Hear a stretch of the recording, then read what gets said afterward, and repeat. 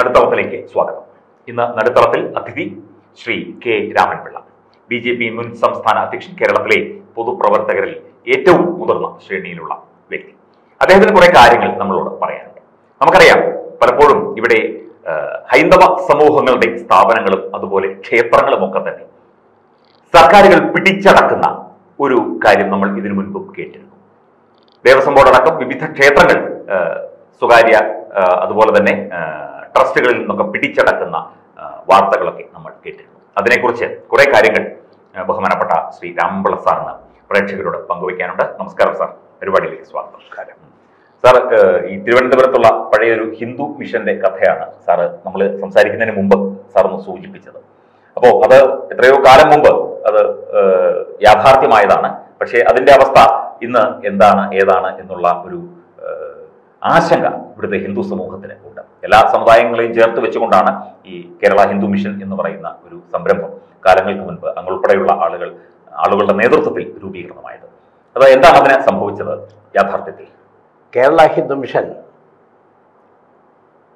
company Travancore companies registration act അനുസരിച്ച് register ചെയ്തിട്ടുള്ള ആയിരത്തി തൊള്ളായിരത്തി മുപ്പത്തി നാലിൽ രജിസ്റ്റർ ചെയ്ത പ്രവർത്തനം അവലംബിച്ച സംഘടനയാണ്.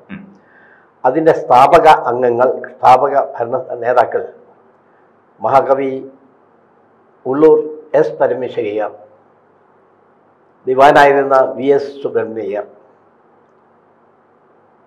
പ്രസിദ്ധ സാഹിത്യകാരനായ സാഹിത്യ പഞ്ചാനന്ദൻ പി കെ നാരായണപിള്ള. കേരള തിരുവിതാംകൂറിലെ അഞ്ചൽ ഡിപ്പാർട്ട്മെന്റ് ഹെഡായിരുന്ന സി കെ നാഗൻപിള്ള സ്വാതന്ത്ര്യ സമരത്തിലൊക്കെ സജീവമായി പങ്കെടുത്തിരുന്ന ആർ സി ദാസ് തുടങ്ങിയ വ്യക്തികൾ ചേർന്ന് രൂപീകരിച്ചതും തിരുവിതാംകൂർ ഗവൺമെന്റിന്റെ പൂർണ സഹകരണത്തോടുകൂടിയുള്ളതുമാണ്. അതിന്റെ പ്രവർത്തനത്തിന് വേണ്ടി സെക്രട്ടേറിയറ്റിനടുത്തുള്ള ഒരു സ്ഥലവും രണ്ട് മൂന്ന് കെട്ടിടങ്ങളും വിട്ടുകൊടുത്തിരുന്നു. അതിന് ദേവസ്വം ഡിപ്പാർട്ട്മെന്റിൽ നിന്ന് വർഷം തോറും നല്ലൊരു തുക ഗ്രാൻഡായിട്ട് അനുവദിച്ചിരുന്നു. ഹിന്ദുമിഷന്റെ ഹിന്ദു പ്രധാനപ്പെട്ട ലക്ഷ്യം ജാതി വ്യത്യാസമില്ലാതെ ഹിന്ദു ഹൈന്ദവരെ ഒന്നിച്ചു കൊണ്ടുവരിക. അവരിൽ നിന്നും മതം മാറിപ്പോകുന്ന ആളുകൾ തിരിച്ചു വരാൻ ആഗ്രഹിക്കുന്നുണ്ടെങ്കിൽ അവരെ ശുദ്ധി സ്വീകരിച്ച് സർട്ടിഫിക്കറ്റ് നൽകുക.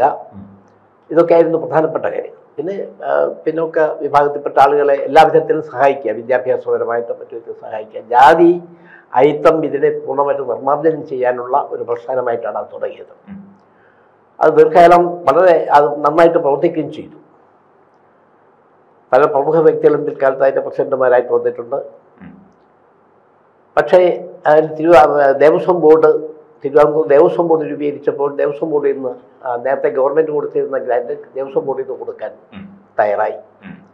അത് ഒരു രണ്ടായിരത്തി ആറ് വരെ മുടങ്ങാതെ കൊടുത്തിരുന്നു. അതിനുശേഷം ഹിന്ദു മിഷന്റെ ഭരണസമിതിയിലും കുറച്ച് കുഴപ്പങ്ങൾ ഉണ്ടായിരുന്നു.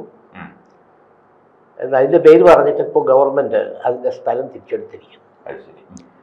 ഗ്രാൻഡ് ഇല്ല പ്രവർത്തനം നിലച്ചു.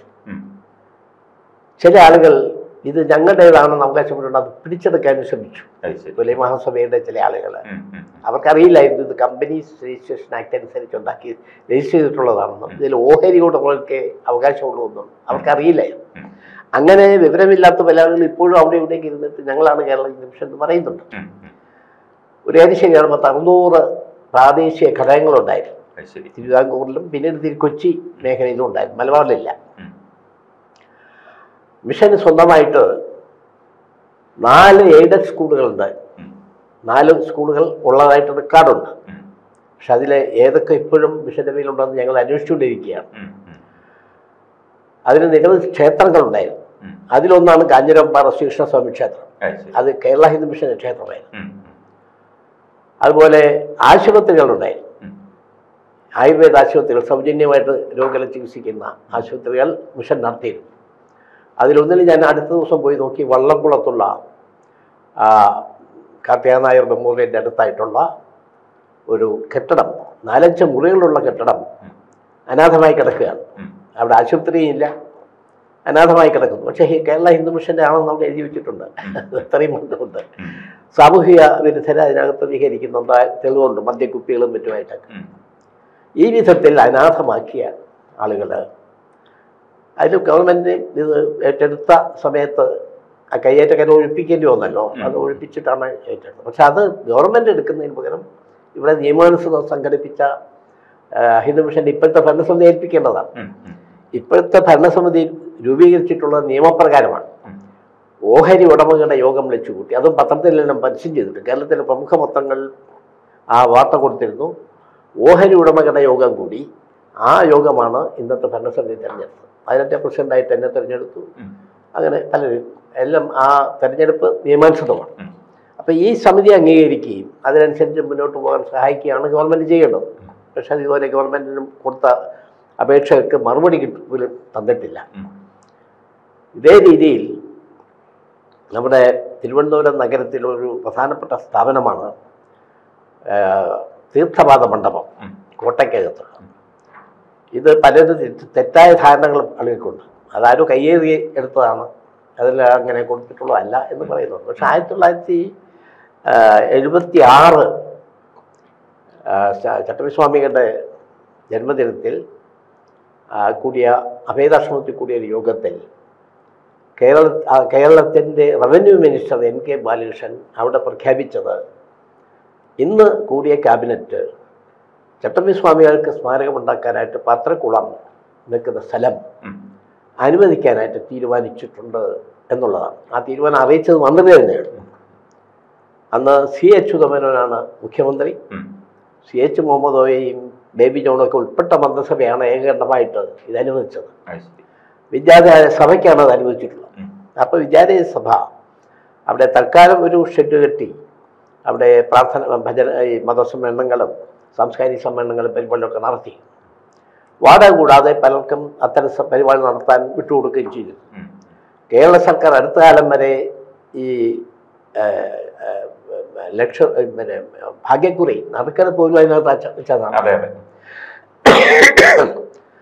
ആ സമരം അങ്ങനെ പോയ നടന്നാൽ പോരാ എന്ന് കരുതിയിട്ട് കുറച്ചുകൂടി ഒരു നല്ല സ്മാരക സമുച്ചയം ഉണ്ടാക്കാനായിട്ട് പ്രമുഖ ശില്പി ശങ്കറെ ചുമതലപ്പെടുത്തി. അദ്ദേഹം തയ്യാറാക്കി തന്ന ആർക്കിടെക്ട് അദ്ദേഹം ഒരു നല്ല പരിപാ ഇത് തയ്യാറാക്കി തന്നു.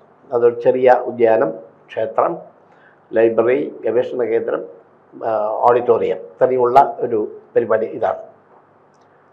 അവിടെ വരുന്നവരുടെ പാർക്കിംഗ് സൗകര്യം കൂടി അതിനകത്ത് അഡ്ജസ്റ്റ് ചെയ്തിട്ടുണ്ട്.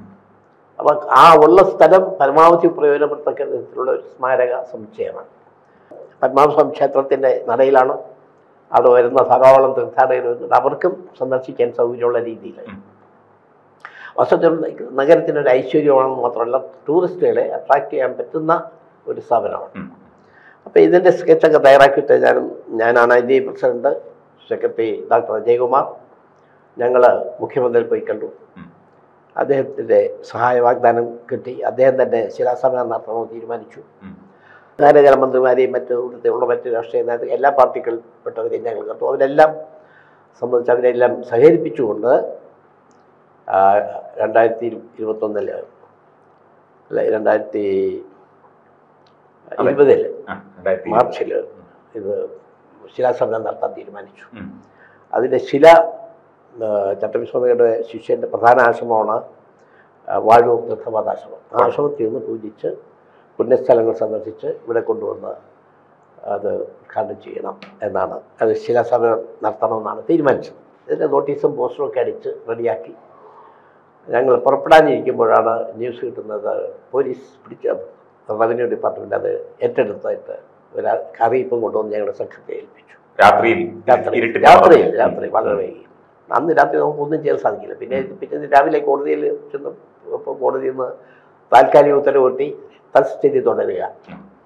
സാധാരണ അങ്ങനെയാണ് കൂടുതൽ. സ്റ്റാറ്റസ് കോ മെയിന്റെയിൻ ആ വിധി കഴിഞ്ഞ രണ്ട് ഒരു ഒന്നര മാസം മുമ്പ് ഹൈക്കോടതി ഇത് പിന്നെ ഉടനെ മുപ്പത് ദിവസത്തിനകം ഇത് സമയ സമാജത്തെ ഏൽപ്പിക്കണം. സമയ വിദ്യാർത്ഥിരായ സഭ ഏൽപ്പിക്കണം.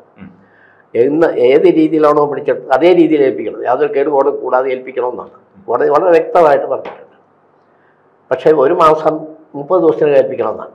ഈ മുപ്പത് ദിവസത്തിന് ഏൽപ്പിച്ചില്ലെന്ന് മാത്രമല്ല അവസാന മുഹൂർത്തത്തിൽ കൊണ്ടുപോയി ഒരു അപ്പീലും കൊടുത്ത് അതിന് പിന്നെയും തടസ്സപ്പെട്ടിരിക്കുക ഇങ്ങനെയൊക്കെ ചെയ്യുന്നതിന്റെ ഉദ്ദേശം എന്താണെന്ന് എനിക്കറിയില്ല. കാരണം ഈ കൊണ്ടുവരുന്ന ധാരാളം ആളുകൾ ഒരു സാംസ്കാരിക സ്ഥാപനം എന്നുള്ളതിൽ ആ സ്ഥലത്ത് വരാറുണ്ട്. അവിടെ കഥകളി മഹോത്സവങ്ങളുണ്ട് സംഗീതോത്സവങ്ങളുണ്ട് സാംസ്കാരിക സമ്മേളനങ്ങളുണ്ട് അങ്ങനെ അക്ഷരശ്ലോക മത്സരം തുടങ്ങിയിട്ടുള്ള അതുപോലുള്ള ചടങ്ങുകൾ അവിടെ നടത്താറുണ്ട്. ഇങ്ങനെ എപ്പോഴും സാംസ്കാരിക പരിപാടി നടക്കുന്ന ഒരു സ്ഥലം. അതെ. ഇവർ പിടിച്ചെടുത്തി ഒന്നര വർഷമായിട്ട് ഞാൻ അടച്ചിട്ട് കൂട്ടിയിട്ട് എന്താ പറയുന്നത് എന്ത് നേടി? ഗവൺമെന്റ് എന്ത് നേടി? ഈ പാർട്ടികൾ എന്ത് നേടി? ഈ ഭരിക്കുന്ന ആളുകളും ചിന്തിക്കണമല്ലോ. അപ്പോൾ ആർക്കും ഗുണമില്ലാത്തതും എന്നാൽ എല്ലാവർക്കും ദോഷം ഉണ്ടാക്കുന്നത്. ഭൂരിപക്ഷം ജന വലിയൊരു വിഭാഗം ജനങ്ങൾ അവർക്ക് സായാഹ്നങ്ങളിൽ പോയിരുന്ന് ഈ പാട്ട് കേട്ടും കഥകളി കണ്ടും മറ്റേ നാടകം കണ്ടും ഇതൊക്കെ ആസ്വദിക്കാൻ ഉണ്ടായിരുന്ന സൗജന്യമായിട്ട് ഇതൊക്കെ ആസ്വദിക്കാൻ കിട്ടിയിരുന്ന ഒരു സ്ഥലം പിടിച്ചെടുത്ത് വെച്ച് അടച്ചുപൂട്ടി വേറെ ആരെയും കണക്കാതെയാക്കിയതുകൊണ്ട് എന്ത് നേട്ടമാണ് അവരുണ്ടാക്കിയത്? ഉണ്ടാക്കിയത് അപ്പോൾ ഇത് ജനദ്രോഹ നടപടിയെന്ന് അതിനെ വിശേഷിപ്പിക്കാൻ പറ്റും. ഇതിലും ഈ കോടതി വിധി പോലും നടപ്പിലാക്കാതിരിക്കാനാണ് അവർ ശ്രമിക്കുന്നത്. ഇതിനുവേണ്ടി പണം ചെലവാക്കുന്നു. ആരുടെ? നമ്മളെയൊക്കെ നികുതി പണം ഉപയോഗിച്ചിട്ട് കേസ് നടത്തുകയാണ്. അപ്പോൾ ഈ ഒരു അവസ്ഥ കേരള ഹിന്ദു മിഷന്റെ കാര്യത്തിൽ പറഞ്ഞ പോലെ ഇതിലും ഇതുപോലെ തന്നെ വേറൊരു സ്ഥലം ഉണ്ട്. രാജഭരണകാലത്ത് ഹിന്ദു വനിതകൾക്ക് തൊഴിൽ പരിശീലനം കൊടുക്കാനും മറ്റുമായിട്ട് അനുവദിച്ചൊരു ഹിന്ദു വനിതാ സംഘമുണ്ട്. വഴുതക്കാട് ആ ചിന്മയ മിഷൻ സ്കൂളിന്റെ അടുത്തുള്ള. ആ സ്ഥലവും ഗവൺമെന്റ് അനുവദിച്ചു കൊടുത്തിട്ടുള്ളതാണ് അവിടെയും ഇതുപോലെ ഒരു അനാഥാവസ്ഥ ഉണ്ടാക്കി. അതും ഗവൺമെന്റ് കൈക്കൽ കൈ കൈ കൈക്കുള്ളിലാക്കാനായിട്ട് ശ്രമം നടന്നു. പക്ഷേ ചില ആളുകൾ അവിടെ ഫോഴ്സ് ഉപയോഗിച്ച് അവിടെ പ്രവേശിച്ച് അങ്ങനെ വെച്ച് പിടിച്ചിരിക്കുകയാണ്. പക്ഷെ അവിടെ വിട്ടുകൊടുക്കാൻ തയ്യാറല്ല. അവർക്ക് അവകാശമില്ലാത്ത സ്ഥലങ്ങളിൽ അങ്ങനെ പിടിച്ചു വെച്ച് കൊടുക്കാതിരിക്കുന്നതിൽ എന്താ അർത്ഥമുള്ളത്? അതുകൊണ്ട് ഈ കാര്യങ്ങളിലെല്ലാം ജനങ്ങൾ പ്രതികരിക്കണം. അതേ വഴിയുള്ളൂ. ഇത്തരം സ്ഥാപനങ്ങൾ സാംസ്കാരിക സമൂഹങ്ങൾ രാജ്യത്തിന്റെ ഐശ്വര്യമാണ്. എല്ലാ വിഭാഗം ജനങ്ങൾക്കും അത് പ്രയോജനപ്പെടുത്താൻ സാധിക്കും. അതുകൊണ്ട് അത്തരം സ്ഥാപനങ്ങളെ വീണ്ടും രക്ഷപ്പെടുത്താനുള്ള ഒരു സംഘടിത ശ്രമം ആവശ്യമാണ് എന്ന് മാത്രമാണ് എനിക്ക് ഈ അവസരത്തിൽ പറയാനുള്ളത്.